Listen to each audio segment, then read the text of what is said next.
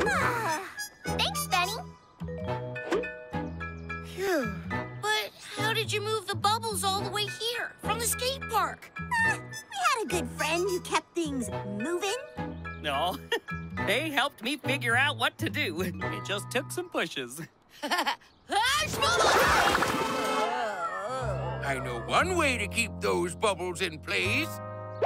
Well, good thinking, Pop-Pop. Come on, Benny, let's go. Um, Pop Pop, try using a gentle push.